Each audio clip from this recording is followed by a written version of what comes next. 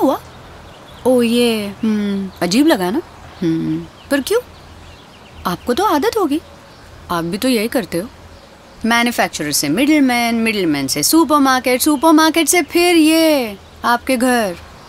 इतना घुमा घुमा के क्यों? ग्रोफर्स से सीधा सामान मंगवाओ और पैसे भी बचाओ। क्योंकि ग्रोफर्स बिना शोरूम खर्च बीच के सारे डीलर्स हटाकर राशन सीधा आपके घर लाता है। ग्रोफर्स। सुपर सेविंग्स का